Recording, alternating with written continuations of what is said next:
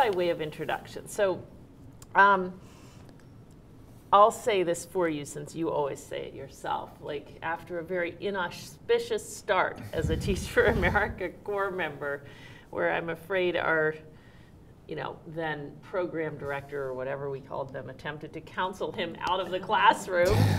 Um, he became one of our most incredible teachers, and in fact, um, I don't know if I've ever said this directly, but you probably know it. I mean, I spent a week with Dave around our 10th year at Teach for America, and it was kind of a revolutionary week for me. I mean, it just led me to a whole different level of understanding about the impact that our teachers could have and that we could have in this work. Um, he co-founded KIPP, which anyone here in the U.S. knows has had a quite extraordinary impact. Um, they have now 162 KIPP schools um, across many, many urban and rural communities and have really shown people what is possible for kids, um, as well as, you know, while at the same time truly you know, putting a whole bunch of kids on a, on a trajectory to much greater life opportunity. Um, and his work around character uh, has attracted just incredible interest um, in this country and actually all around the world. I don't even know how much you realize this, and, and hugely across the Teach for All network. Um, so I will get started and, and, just ask a few questions, um, but we really want you all to engage, and obviously anyone here in person can um, pipe up and ask a question at any moment. And anyone watching online, um, use Twitter. I'm at, at Wendy Kopp. Dave is at Dave underscore Kipp. Um, and we're using the TFALL Talks hashtag. Mm-hmm. And you can also email Naran Khan um, at teachforall.org. Um, so, Dave, let's so just go way back. And, okay. Um, How far back? Um, why did you join Teach for America? in the first place?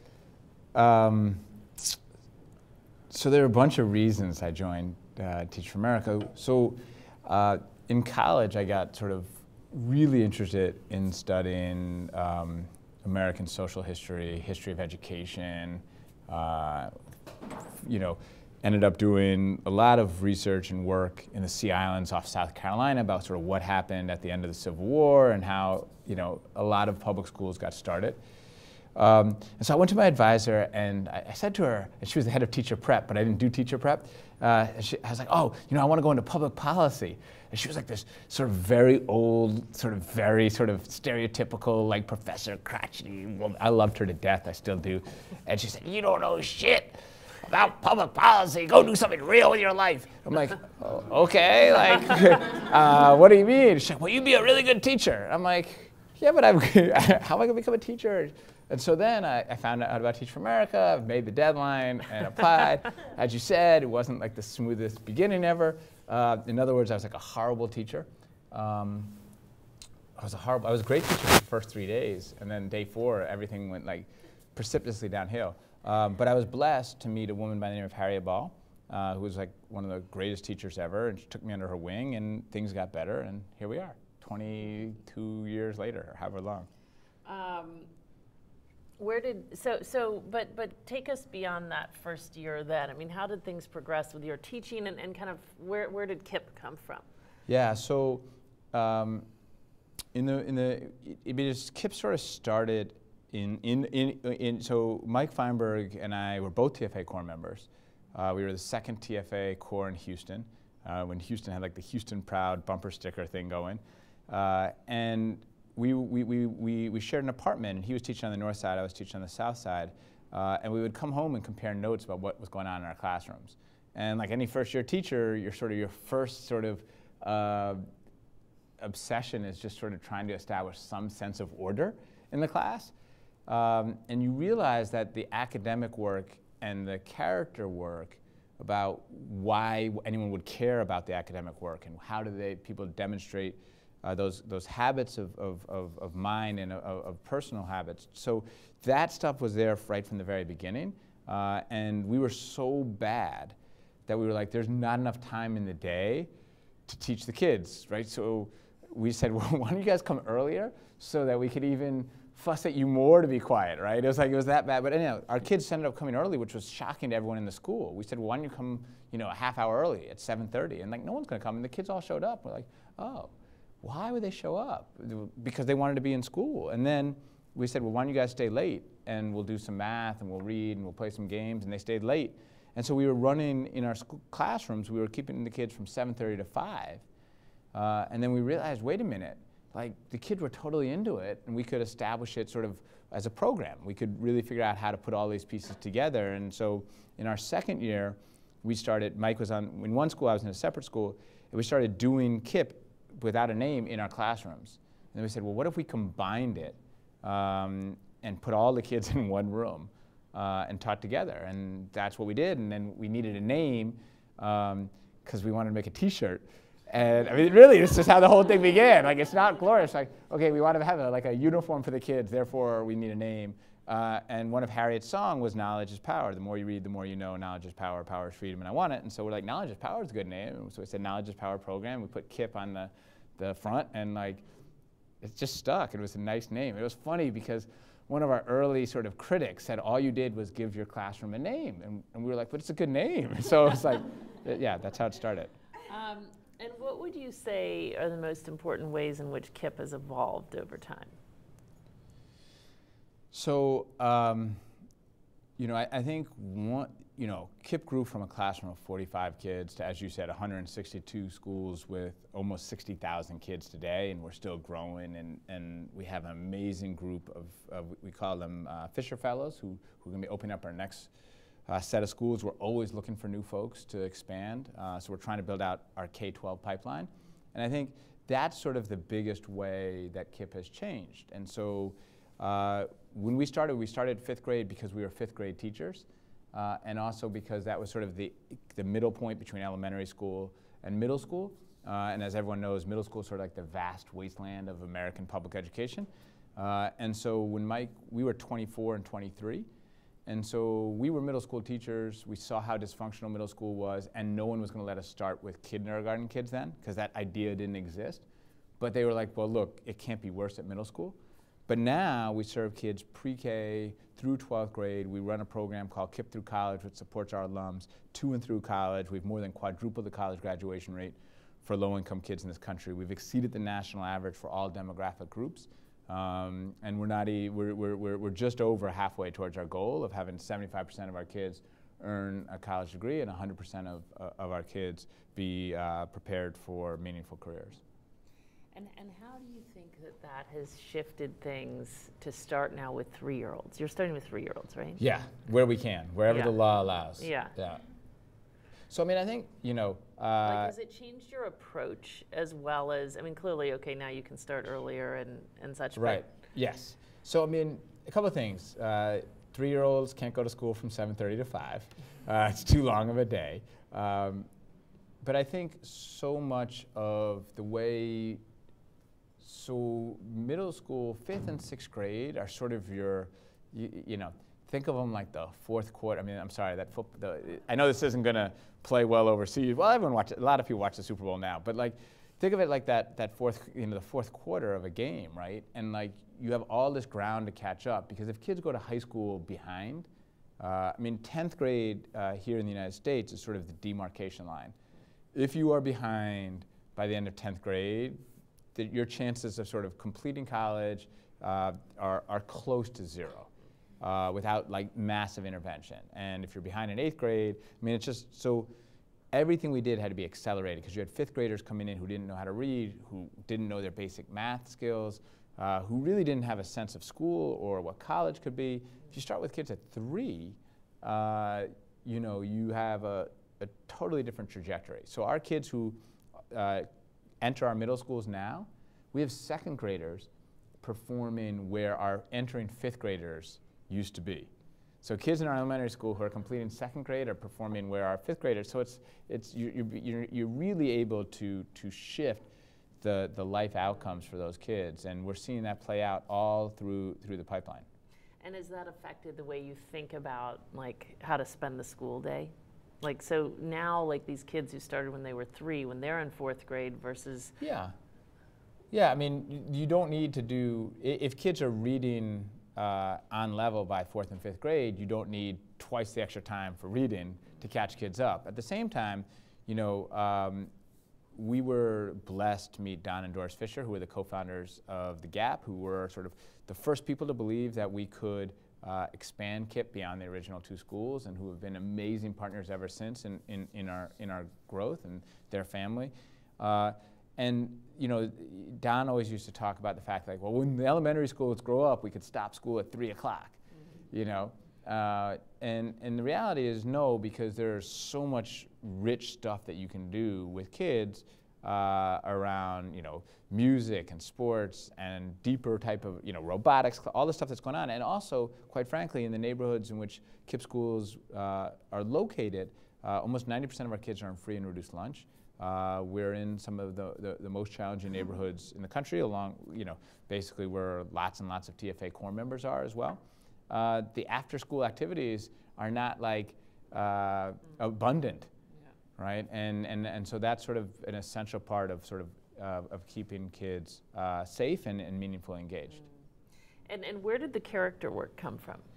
So, uh, I mean, I know you have kids. I know you have four of them, and you know, anyone who has kids or you know, works with kids, people are like, well, how did you guys come up with like the idea of like be nice or work hard or like self-control? Like we were fifth grade teachers. I don't know how many teachers are here. I don't know how many teachers are out there. But it, if you listen to the stuff you say to kids every day, right? So like think about the number of times you say like be nice to each other or stop talking or sit down or you know don't poke that kid with your pencil. Like so if you think about that last group don't poke the kid with the pencil. Stop talking. Sit down. All the stuff that teachers do on a regular basis or we do with our own kids right? Like i have two boys so it's like don't put your brother in a headlock right? No you can't, you can't throw that book at him right? All of that's related to self-control right? So we didn't know the science behind it in, in 95. We didn't know uh, there was, you know, and, and there was a, you know, the science has grown up in the same time frame really in the last 20 years. But we knew from actual experience with kids that the, the non-academic skills, the, what we've come to call character skills, uh, were just as important. Not more important, but not less important because they, they're, they're, they're, they're like DNA. They're like, they go hand in hand, right? You, in order to learn, you actually have to sit and engage, right? And, and, and so like people are all excited about the digital world in the future.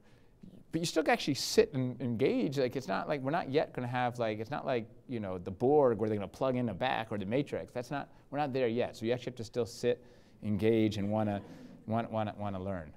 Yeah, and and so what is the Character Lab doing? So, yeah, so the Character Lab um, in ninety in two thousand uh, five.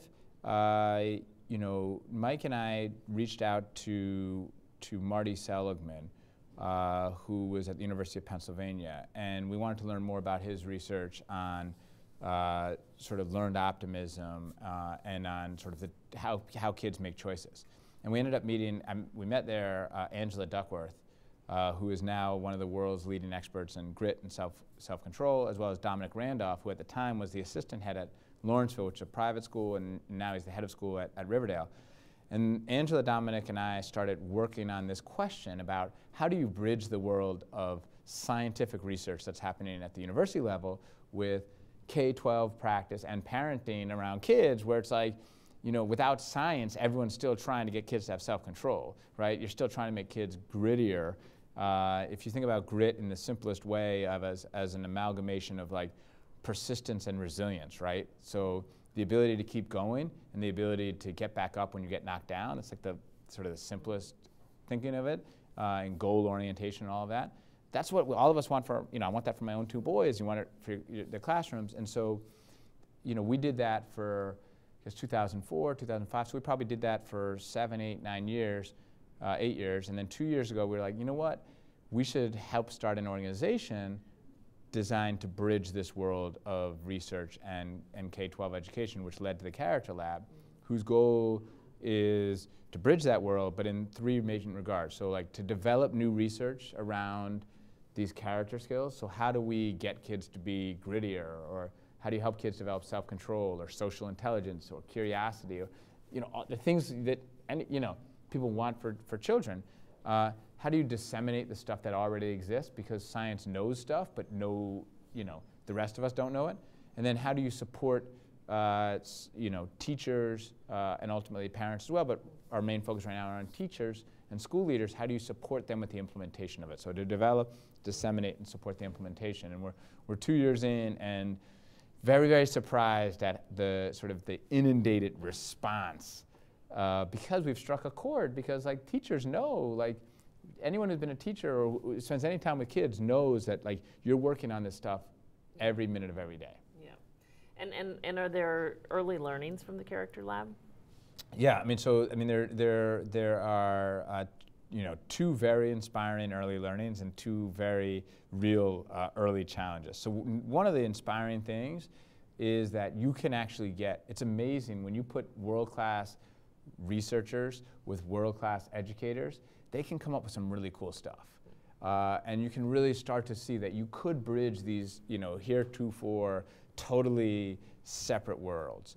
Uh, we've also, there's a body of research around, uh, it doesn't have like the sexiest name in the world yet, uh, but mental contrasting with implementation intentions, also known as, as I said, right, uh, i- i- i- i- known as MCII. The, it- for short, it's become WOOP, which is a little bit more sticky. Uh, and, um, but there, we're, we're starting to see that uh, and that's the research of Gabriele Oettingen and, and Peter Gollwitzer at, uh, at NYU. Uh, and Angela has been partnering with them to see, it's, it's one, it has the largest research base of proven sort of goal setting and commitment fidelity. So how do you, how do you create that uh, has been huge. We, the third thing, uh, we ran a online course, a MOOC last year that has since been seen by almost 70,000 people.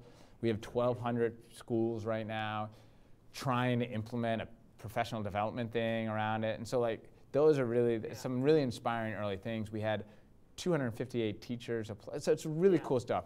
The biggest challenge, Wait, okay, wait. Before you get to biggest challenge, what is WOOP again? so WOOP is an acronym uh, for mental contrasting with implementation intention. And if we had 15 minutes, I could whoop y'all. Can't you give us like And so yeah, I'm gonna give you like the Okay. one. Yeah, I know what you want. I got you. I got you. Okay, so like the, the simple version of it is, is is is wish, outcome, obstacle, plan, right? So the, like, what's your wish around something? Uh, and so my wish is to to to to exercise, you know, three days a week.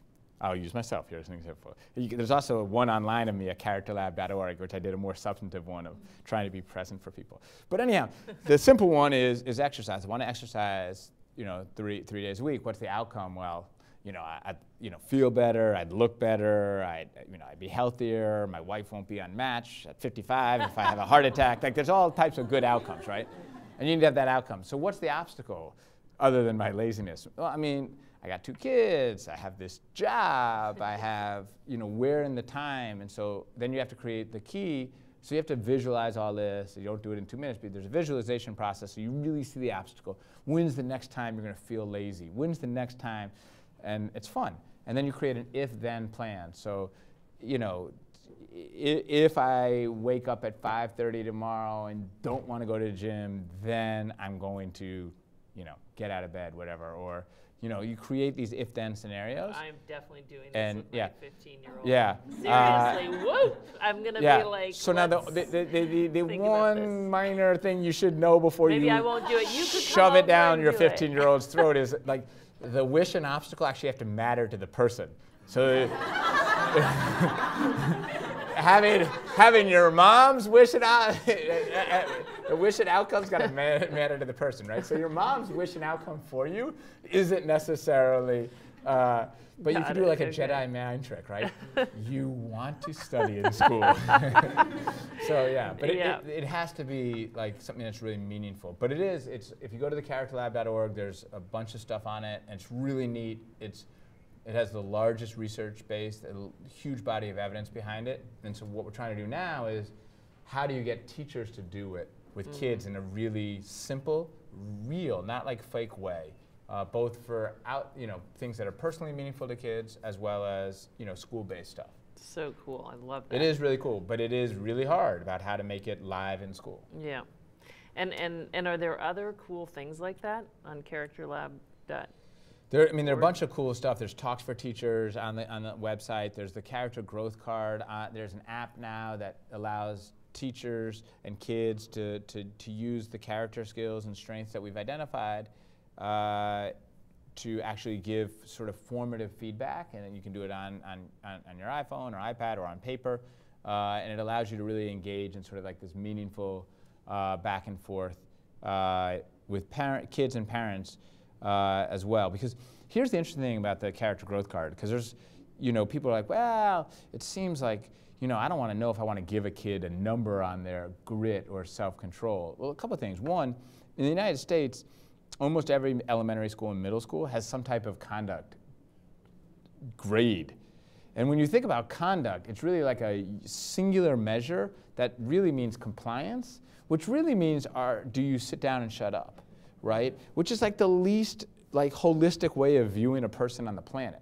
And so the character growth card takes one measure, blows it out to seven measures, and parents want to know if their kid's gritty, want to know if their kid has social intelligence, curious, or self-control, or, or the, the, the, the strengths of the, uh, on the character growth card. And it forces teachers. So like teachers, zest is one of the strengths on the character growth card. And teachers don't often look at zest as a strength. But it is a strength, and it's so important for kids. And so it's really breathed life in, into schools, and we're excited to, gain, to see it start to gain more traction. And we think with an app, it can be available to people all over the world, which will be great for Teach for All and, and all the different networks out there because engaging in, these, in, the, in the conversation is a big part of how kids become self-aware of that stuff. Mm -hmm. I'm going to start asking some of these questions that I'm getting. But um, so Aditya Valetti is asking, do you track your character work's effect on academics? Yes. Um, yes. Uh, and so there's a, a, a, paper that Angela published uh, that is available on the characterlab.org website that basically shows that there's, you know, the character strengths and skills, they, they cluster in three general areas. Uh, and not surprisingly, grit and self you know, control are related to things like GPA, you know, standardized test scores, achievement. Others are related to attendance.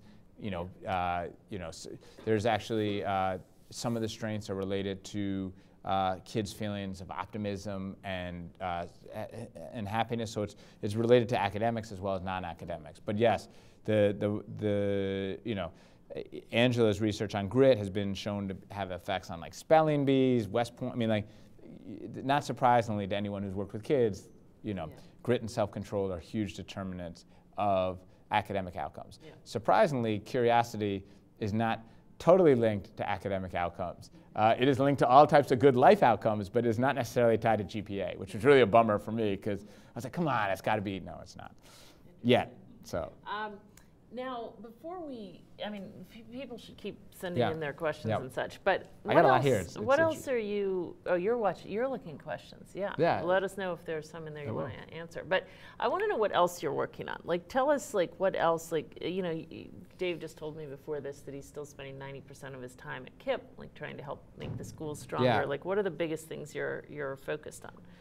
Yeah. So, I mean, I think that for us at KIPP. Um, so we've had tremendous early successes. I mean, you know, this idea of, you know, uh, almost 50% of our original alums now have a four-year degree.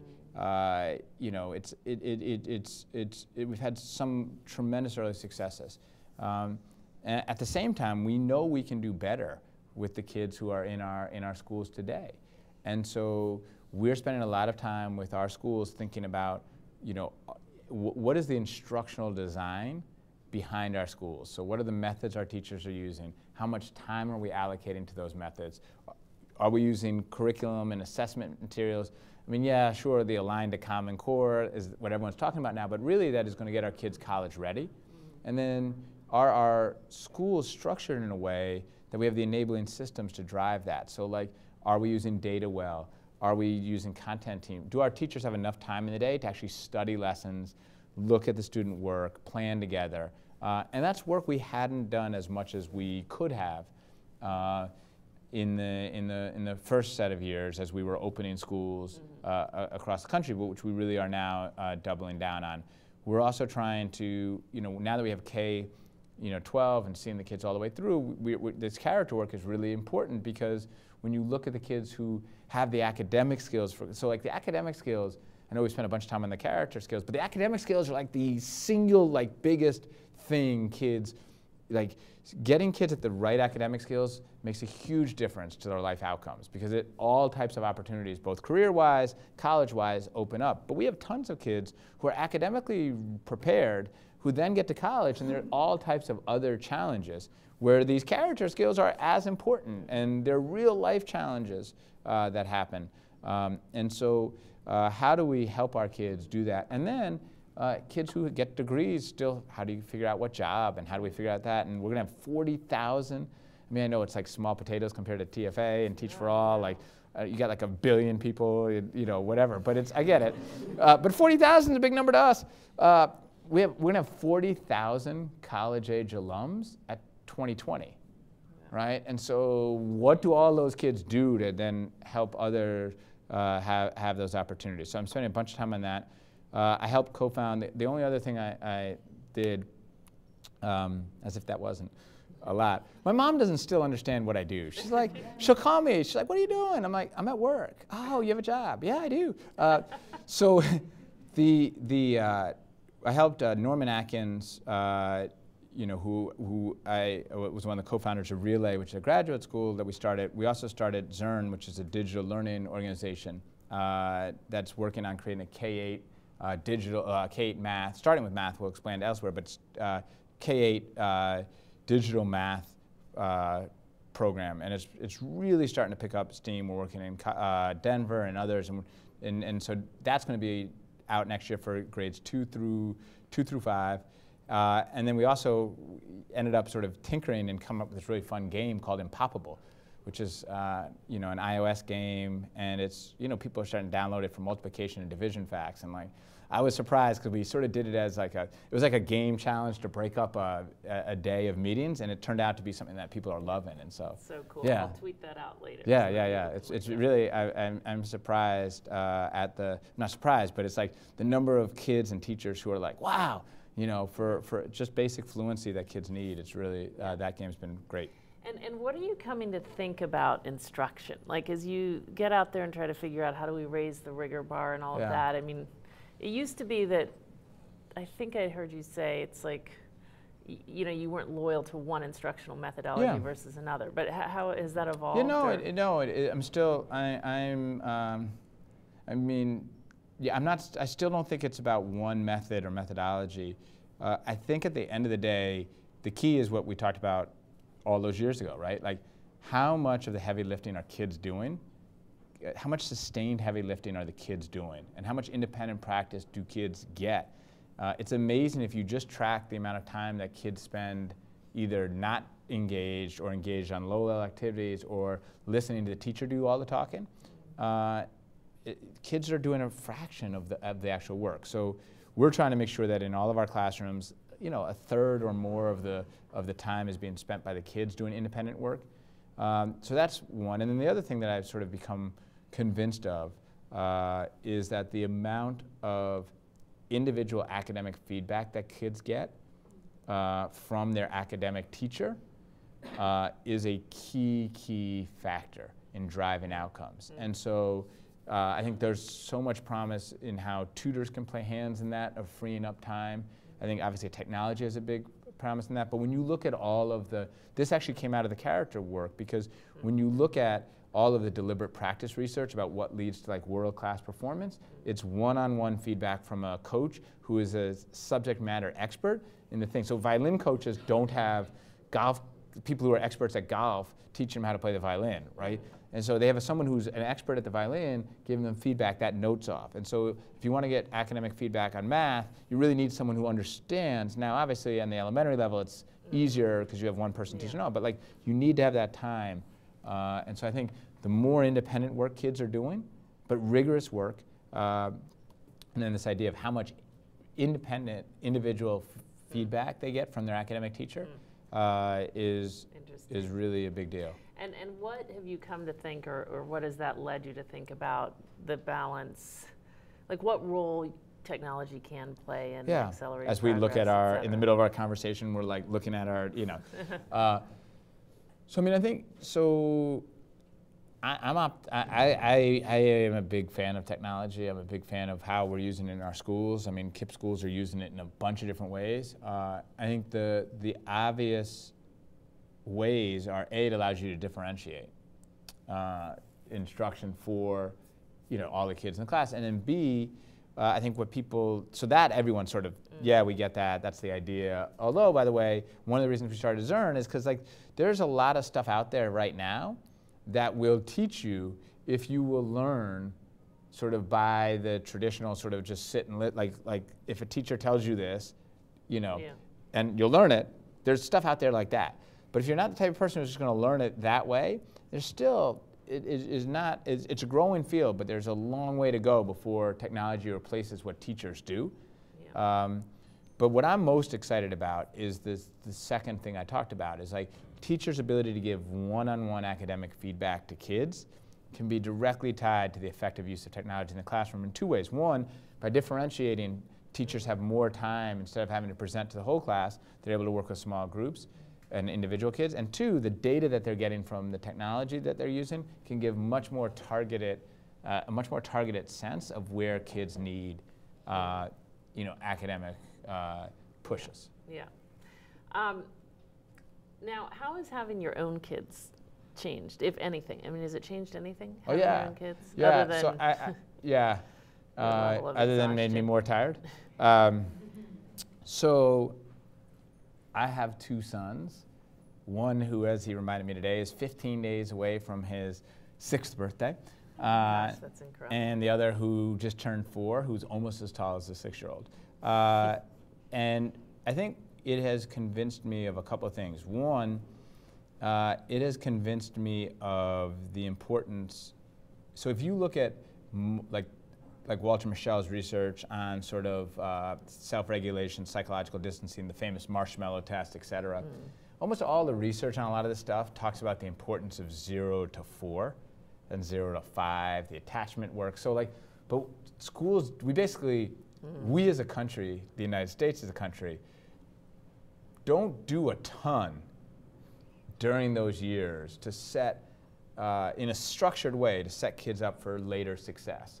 And so when you look at sort of uh, Carol Dweck's research on growth mindset, which we're doing a lot of work with at the Character Lab, and you think about the way we explain things to kids, uh, how much of a fixed mindset we have. So my older son uh, happens to be a, you know, he's very musical, very good dancer, et cetera. He takes after my wife in all of those regards. Um, but if you tell him he's such a good dancer, what do you think he does? He stops yeah. right?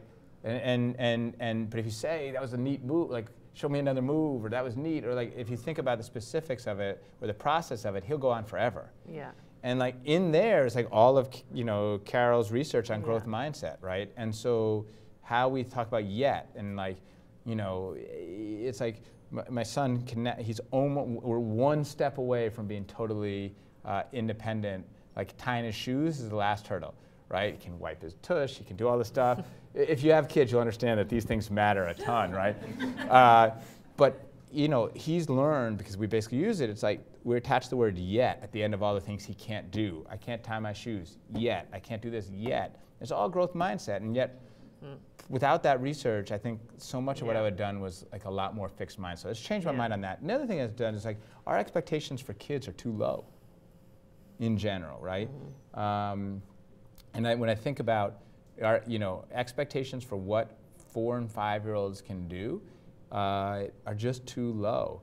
Uh, you know, I- my, my, four, my younger kid was in a production of Alice in Wonderland. And he can't read, and yet he had speaking lines that he, and he learned all these songs. And I'm like, wow, like he was just at this high level. And then the, the final thing, uh, the other thing I've learned is like, A, which I knew, but it's even clearer, and our elementary schools have a ton of play, but like you mm. need a ton of play in school. Uh, and then the, I also, the importance of sleep, I didn't understand at all prior to having kids. And when I think about mm. some of the challenge, when I watch, you know, the bedtimes of our, of, of like, and those are directly tied I, to resources, mm. right? I mean, it, it, keeping a regular bedtime schedule is really hard. But when I think about the challenges of kids growing up in low-income neighborhoods in this country, uh, with you know, with all of the different challenges that family faces, if you don't get enough sleep, the impact is so dramatic. And I think about what happens to kids in schools, and I think about why are so many kids labeled behavior problems, like in kindergarten, and it started to realize like a lot of it is they're just tired. Mm. And so like I would not have known that without having kids because I see my own boys when they're when they're well rested, yeah. people think they're angels. Yeah. And when they're not, they're like, could you leave the restaurant, so right? And it's like, yeah, I didn't true. understand that at all. Um, Steven Farr is asking, how has your understanding of how to grow great teachers changed over time? Like what teacher development takes? Yeah, so I mean, Steven should come out and give the answer to this, shouldn't he? It's like, you know. This is our biggest dilemma right. right so now, I mean, I, I, think the so uh, I was blessed. So it's taken me basically my entire career to be convinced that the way Harriet trained me is actually hmm. largely the best way to train a bunch of things. So I think there are three. There are uh, three things. Number one, teachers need to actually take the time to study to do the intellectual work around what am I teaching kindergarten mm. like what's the meat of this kindergarten through 12th grade like what is the actual main point that kids need to understand how am i going to get it to them so there's intellectual prep mm. that teachers need uh, number two they need time to compare those things with other teachers so that's like the whole japanese lesson study thing mm. um, all of which harriet and i did together uh, we don't do that uh, well mm-hmm. right so as a country we don't teachers aren't struck and then three uh, in terms of the actual delivery of it, teachers need feedback in real time. And the way any other person who is basically performing anything gets, right? And so, uh, you know, Harriet would stop me in the middle of the lesson and say, no, you didn't ask the right question, or you didn't do this, or you didn't do that, or this person's not listening, or you didn't turn your body this way, or look, the kid didn't get it, you gotta go, you know, and all of this in the middle of the class, right? And it was embarrassing and all this other stuff, but the, but the embarrassment served to make me want to go better faster because I, just want to get through Harriet not talking. Please don't talk, right? Uh, and it, you know, about three months in, I get, went through a lesson where she didn't talk. And like that was like this moment of like my first year where I was like, oh, I could do this job. And you know, but that is not sort of institutionalized right now. Uh, so I think those three things. And then finally, what we've learned at Relay uh, is teachers need lots and lots of practice. They just need a lot of actual deliberate practice where they get that feedback before they go in uh, and actually teach it. Mm-hmm. So, but we're not set up as a country to do those things right. in a systematic way. I mean, that's the big Let alone, question, yeah. Right? Like, do you think we can actually develop great teachers outside of the context of great schools? Like, why don't, I mean, do you think it's oh, possible? Uh, so yeah, I think, I think, yes, I think there, I think. Not even saying like, but outside of the context of schools, let me just say, like, do you think that this whole structure of pre-service training? No, I mean, the, the great thing about Relay is, Relay is this graduate school that, that uh, we started, uh, Norman Atkins from Uncommon, Dacia Toll from Achievement First, and I started a bunch of years ago, uh, which is now serving 1,200 teachers and 200 principals in, in, I think six different cities, and it's really incredible. But everybody is in their first couple of years of teaching. Uh, so I don't think this idea of like you train before you ever. There, I think there's a set of stuff that you could start training kids in college, uh, or you could do like I think there what is a body. So I think there you can start training on some of the pedagogy. You can start learning the content. You can start understanding basic classroom methods. So I think you can get a lot of that stuff. You can start to understand sort of the, some of this character work. But until you're in it, you can't the, you can't get all of it to connect, right? So even if you learn some of it before, you got you can't learn all. You, even if you did some before, you'd still need some during it to understand how it works, how it's applied. Yeah. Uh, and then obviously, if you work in a great school, your school does a lot of that development alongside. So I think a great graduate school of education uh, combined to a great school, you can get great teachers, mm. right? If you have a great graduate school without a great school, Uh, I think you can get great teachers, but it, it's harder. Yeah. Um, Becca Ships uh, at Teach for All is asking, how are you measuring impact once kids leave KIPP schools, and what has changed over time about that? Yeah, so uh, the number one way we're measuring impact, obviously, is uh, college completion and career, what careers kids go off to do. So we, we're in touch with 100% of our kids, so we're tracking them to and through college. The kids who don't go to college, what are they doing? Uh, so those are sort of the major, major ways. We're just now starting to think about getting more uh, strategic and scientific about measuring life satisfaction and, and, the things that matter as well. But in our first, you know, uh, you know, in our first 20 years, uh, the, you know, the focus so far is getting kids to and through uh, college and career. So uh, for the kids who aren't going to college, um, you know, our view is that the skills for college should be for everyone, even if kids at the end of the day choose not to go or there are other circumstances. We don't want it to be because they're not prepared. You know, and that, that I think is a big deal. People can argue all they want. Mm. Should kids go to college? I, I, I think there are real reasons that it may not be right for an individual kid. Yeah. The thing I'm not willing to do is to tell it to an eight year old. And the thing I'm not willing to do is not let it be that kid's individual choice because they're unprepared, mm-hmm. right? So if kids should have those skills and then make the choice when they're 17. I was on a call the other day with One World, which is, is the network of kind of KIPP inspired schools around the world, um, some of them led by Teach for All program alums. But the, this group of people who are some of the school leaders in Mexico were essentially asking the, the board of One World for their help and feedback on what their ultimate measures of success should be. Mm-hmm. And one idea they threw out, which I thought was kind of intriguing, was um, I mean, these are their internal measures, yeah. right? Was to measure income, like student mm-hmm. income, like yeah. ultimately. Are you all measuring that? What Not do you think yet. about that idea? Not yet. I think it's a good idea. I mean, I think so. If you think about KIPP's mission, uh, it's to prepare kids with the character and academic skills for uh, success and, and happiness. I mean, it's not quite success and happiness, but it's mm. success and happiness in college, career, and life, mm-hmm.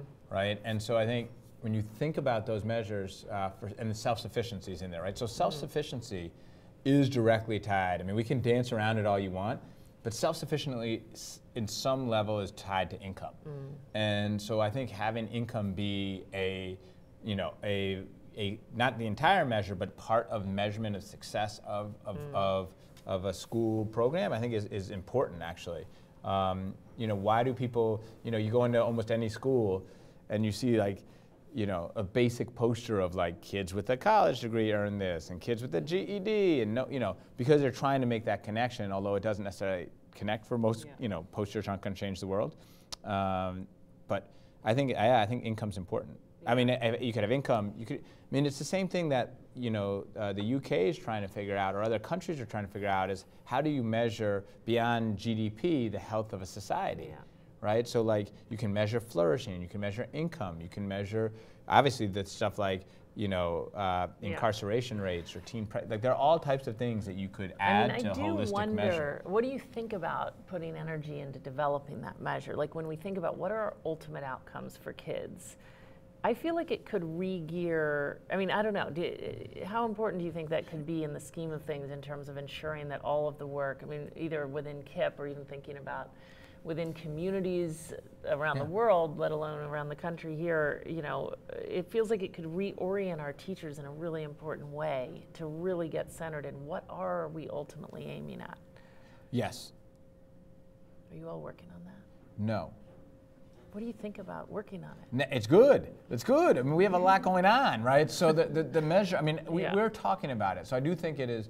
So we're in our schools right now, part of the character work has led to this definition of what we're aiming for around PERMA, which is Dr. Seligman's definition of flourishing. Mm. And it stands for positive emotions. So, like when you think about happiness, right, it's not actually happiness. Like positive emotions is what we typically think of as happiness, mm-hmm. but PERMA, flourishing is different than happiness. So, PERMA is positive emotions, engagement, relationships, meaning, and accomplishment. And accomplishment is a significant part of flourishing. And when you break down, when you start teasing out what accomplishment means, well, then you have academic outcomes, you have college completion, mm-hmm. you have income, you have career attainment. Those are accomplishments, and those matter. But then you have to think about civic engagement. You have to think about those other measures. So PERMA uh, and and Seligman and others are actually working on these life, like these societal measures that include income, go beyond income. Uh, and so yeah, I think I, I would love us to see. We've got to get a- Seligman in here for a Teach for All talks. That will be our next stop. Yeah. Love that. And so, but I mean, I think that the more we think broader, Yeah. with the one thing, as long as no one uses it, uh, to, uh, to, as long as no one uses it to water down the expectations we have for kids. To say, oh, it's okay, this kid can't do X because they're a really nice person. yeah. Because it's just unfair to kids, right? Kids can do whatever. It's not the kids' fault. It's our, uh, as the adults, responsibility to get this right for them. Yeah. Okay, let me get a few more questions Yeah. in here and a couple last ones of my own. Okay, Phil McComish at Teach for All is asking, are there things, are, are there schools that do things differently from KIPP that are getting great results that you're learning from? Yeah, I mean, we're learning a lot from a lot of different people. Uh, we've looked at, obviously, the success schools here in New York City. We spent a bunch of time. Obviously, we've been longtime partners with Uncommon and Achievement First. We've learned a lot of time. We've learned from, uh, the, you know, Edward Brooke Charter Schools up in Boston. We've learned from a lot of the, the private schools around New York that we've gone to visit. We're always Now- looking. We've learned from our, you know, Yes in Houston, where we're partnered with. Noble Street's been a big impact on sort of how we think about high schools. So what have you learned from success? So I mean, I think one of the things we've learned from success is there. Ex- I mean, there are a bunch of different things. Success is a charter network for all those people around the world. It's not like, what have you learned from success? right. But, um, it's a name yeah. of a. Yeah. I mean, I think just how their their explicit level of what how explicit they're thinking about their teacher training Mm. and the type of uh, the way in which their people spend their time. I think is, is around academic dri- in order to drive the academic rigor. I think has been a, a, a really big takeaway. Interesting. How are they spending their time? I mean, I think they, they are spending more of their time studying the lessons, looking at the student work, giving that type of feedback. What I described as Mm-hmm. Yeah. that arc, I think success is doing Yeah, more of that. I think Uncommon is doing more of that. Those are some of the things we've learned. I think uh, one of the things we took from, I took from my visit to the Edward Brooke School up in, in Massachusetts is they are, uh, of all the schools I've seen, they're doing uh, the best job of finding time for teachers to meet one-on-one with kids Mm. by the way they've structured their school and that idea of academic free feedback I, I talked about. Yeah. Uh, Interesting. yeah. And, and what about, I'm curious what you've gotten from visiting the private schools. Yeah. So I mean, I think the the, the biggest thing, uh, one of the biggest things that I've, I've gotten from visiting the private schools, uh, is the way they use play. Uh, you know, the the in, in some respects they are they they the, the their elementary school they have such a different model than than most public schools and public charter schools because of the you know uh, different skill levels of the entering kids. So like they don't feel the urgency that we feel to get kids reading in kindergarten because they know that all of that is a they I mean they feel a lot of urgency. But they know kindergarten, first grade, the parents, you know, it's all happening, you know, and so there's a ton of imaginative play. There's a ton of these things, even at the most structured of the private school. I'm not talking about like the, Yeah. you know, the totally le- most progressive where like, you know, there are no walls or any of this stuff. I'm talking about like a very structured, Yeah. very traditional private schools have a much higher ratio of play uh, in the early grades Mm-hmm. than uh, any public school, any charter school that I've, I've ever seen. Uh, and so I think thinking about that has been uh, one of a, a really big uh, sort of takeaway. Yeah. And you don't feel, I mean, that's what I was actually curious about when asking about, like, now that you're starting with three year olds, has that changed in terms of, like, do you feel the flexibility to build yeah, we have. I mean, we. I think one of the things we've always had is, I mean, I think one of the things that's been the hallmark of KIPP from the beginning is this combination of joy and rigor. I mean, I Mm-hmm. think anyone who comes to KIPP schools uh, just notices uh, about our joy. I mean, it's just Mm-hmm. Yeah. been there from from the beginning, um, and so uh, I think we've always tried to be playful and always had play. We've been intentional with our in, in our kindergarten, our, our elementary schools and our preschools have a lot of play, Yeah. and then we learned a lot of that from the private schools. Yeah. Um, Interesting. and but it, it, it I think it eases it Uh, but it is a, it is a, uh, it is still. I mean, you start even with three, you can see the impact of the level of prep kids are coming in with. I mean, that that gap that people talk about, the opportunity gap, starts right away. Yeah. Which is why I think what we do with new, n- how we think about helping new parents get their kids set up for success would be, you know, you know, you, you see that whole measles outbreak thing, and we're talking about vaccine. I mean, Yeah. by and large, most people in this country are vaccinated. Yeah. It's a big push, but we don't vaccinate our kids for academic for, for, for these other things, and we could. True. There are That's things we so could do true. to set kids up that? Slowly, slowly. That the would be character a lab, yeah. There are some things that uh, people are. There are a lot of people starting to really focus on the on the zero to five space Yeah. and the the the the, So the new great. mom. Okay, quick answer to this so that I can get to my last two questions. Uh, Sure. Javier is asking what tech innovations in character development or education more generally are most exciting to you? Any off the top beyond the ones that you Beyond Zearn and Impopable, which people should go download. Yeah. Uh, uh, tech innovations around the character stuff. I don't think there's. Uh, I think the the MOOC around. The, I think some of these just online courses and getting it out there is really inspiring in the character stuff, and just get that in the hands. I don't think there's been that much uh, tech innovations on that. The tech innovations in school is is I think the the way in which teachers there's not an individual program. I mean, you can go through all the big names. You can talk about you know Khan Academy. You can talk about ST Math. You could talk about uh, any of the things that are happening at uh, Accelerated Reader or the things that people know about. It is that you now it's no longer the it is now uh, you're walking into I would say it's no longer the exception. I'm not going to say it's the majority of classrooms yet I walk into and see it done, but I'm no longer surprised at the biggest thing I'm excited about is that you see more and more teachers experimenting with the rotational model. You see more and more teachers using technology to differentiate instruction, but also to allow them more time to work one-on-one with kids. Yeah. And so I don't think there's yet sort of a single software answer, but the method itself mm-hmm. is, is, if not in the majority, certainly pretty close now to almost half the classrooms I go into, Yep, cool. which is really exciting. So stepping back just for these last uh, few minutes. Yeah. I mean, we may only get to one of these, which is okay. But um, I mean, this has been such a journey over how many years? Almost 25 years. It's been a long time. Almost. It's been a long Um, time. And I'm just curious, like, just thinking personally. I mean, what advice would you give yourself when you were 21? You're just starting out. Oh, to, oh, I was talking about to myself now. I was like, okay, go to the gym. Uh, I mean, the, Or what are the biggest? so the biggest thing, I, I was blessed. Um, you know, I, we, we joked about my advisor telling me I didn't know anything.